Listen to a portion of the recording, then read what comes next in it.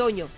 Ahí está entonces, se suspendió esta audiencia. Manfred Reyes Villa hablando, conversando con la gente tras que esta audiencia haya sido suspendida. De seguro se va a reprogramar la fecha para poder escuchar las declaraciones de Manfred Reyes Villa. Son las 11 de la mañana con 51 minutos. En constante vigilancia. Desde el punto preciso. Encendemos el radar de tránsito. Y vamos a continuación hasta el sector, hasta la zona de Llojeta en La Paz, donde tenemos entendido se, está, se ha registrado en todo caso dos hechos de tránsito, Toño Durán. Vamos hasta la zona de Llojeta. Le comentamos que se han producido estos hechos de tránsito. Uno que se produjo con un carro cisterna de gasolina que volcó en la zona de Alto Llojeta, en la avenida Max Fernández a la altura de la parada del Puma Catari, por donde se encuentran los laboratorios INTI, y existen personas heridas y hay otro hecho de tránsito. Contigo, Sofía, adelante. Así es, Antonio. En este momento nos encontramos en la Plaza Ramiro Castillo, en donde, bueno, eh, subiendo lo que eh, la zona de Diojeta hemos encontrado un hecho de, tránsito que, bueno, hace instantes estaban también efectivos de bomberos y, bueno, eh, estamos nosotros intentando buscar a los efectivos policiales puedan dar el informe correspondiente. Tenemos entendido que también es parte de este micro azul que estamos observando en imágenes. Nosotros, Antonio, vamos a ir eh, a conversar también con las personas que han podido observar este hecho en este sector eh, para que conocer un poco más de los detalles también que se han ido registrando en horas de la mañana. ¿Cómo está? Muy buenos días. Estamos en vivo para Radio Éxito. ¿Cómo está? Muy buenos días. ¿Cuál es el hecho que ha sucedido? Disculpe, muchas gracias. No, no sé nada, acabo de ¿Se han podido manifestar algo tal vez? ¿Qué es lo que ha sucedido el día de hoy? Nada, ahorita llegando. Perfecto, muchas gracias. Antonio Naira, nosotros vamos a ir a consultar directamente con los efectivos que, bueno, como estamos observando, se encuentran también en este lugar y para que nos puedan dar el reporte. Nosotros, como estamos observando en este sector, hay eh, pérdida, imaginamos que es de eh, lo que es aceites del, del micro, y también la rotura también de vidrios en este sector. Nosotros vamos a irnos a acercar también a los efectivos de tránsito, los efectivos policiales que también han llegado a este punto para hacer la atención correspondiente de este hecho. Nosotros nos dirigimos también a otro accidente que, bueno, ha sucedido un poco más arriba, nosotros vamos acercándonos. ¿Cómo está? Muy buenos días. Disculpe, estamos en vivo por favor para Radio Éxito.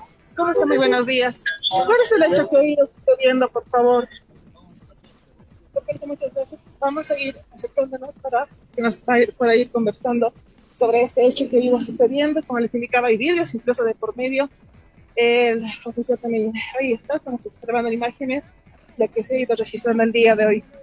El hecho del día de hoy en este sector, eh, ¿qué tipo de accidente? ¿Qué es lo que ha sucedido, por favor? Posiblemente ha habido un fallo de frenos por parte del micro que ve allá, de azul, va, a a dos personas que vendían un puesto de venta de unas humanas. El mismo día se les ha evacuado, bomberos piso presente, están en el hospital Arcoíris. El mismo conductor y está viniendo ahorita lo que es tránsito para hacer la investigación que se requiera. Dos personas, ¿de qué edad serían esas dos personas? ¿Son mujeres, varones? Aproximadamente son un varón y una mujer de 23 años de edad y otros de 22 años de edad. Ambos en el hospital Arcoíris. Ambos Arcoíris. Un, entonces, el, eh, la causa hasta el momento sería por el tema de fallo de frenos. Falla de frenos. El mismo conductor indica que de forma que estaba recogiendo pasajeros, falló el freno. En el retroceso, a, a las dos personas. Perfecto, su nombre puede brindar, por favor. El teniente Aliaga. Perfecto, muchas gracias, teniente. Ahí está Antonio Naira. Bueno, fallo de frenos es la principal hipótesis hasta el momento, de las cuales eh, ha sucedido este hecho de tránsito en este sector. Eh, se trata de este micro que estamos observando en estos momentos. Eh, habían fallado sus frenos y por esa razón ha, ha, llegado a impactar en contra de un puesto de Tucumán. Así, bueno, lamentablemente se tiene registrado a dos personas heridas que han sido trasladados hasta el hospital Arcoíris. Reitero, este accidente sucedido en la Plaza Ramiro Castillo, compañeros. Este accidente ocurrió entonces en la Plaza Ramiro Castillo en Llojeta, como lo han escuchado. Este conductor del micro que ustedes ven en las imágenes que se llevó por delante a dos personas que comercializaban tucumanas en este sector, tenemos entendido.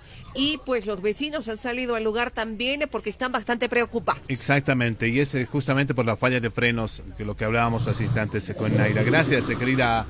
Sofía, volveremos contigo en el noticiero para que nos puedas comentar sobre este hecho de tránsito. Y hay otro que se habría generado cuadras más arriba con una cisterna.